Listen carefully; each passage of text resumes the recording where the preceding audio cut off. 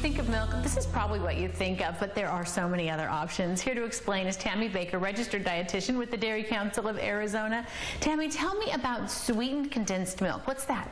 Sweetened condensed milk is milk that's been heated to get a lot of the moisture out of it and sweetener's been added. It's used primarily when you're making desserts. Things like fudge, flan, something that you want to taste rich and creamy and you need to add some sweetness to. Now what about evaporated milk? Evaporated milk comes in whole and non-fat and it is also heated to reduce some of the moisture but no sugar is added and it's used more to thicken and make something creamier. You can put it in soups to make a thicker, thicker creamier soup or sauces. And what about the dry milk?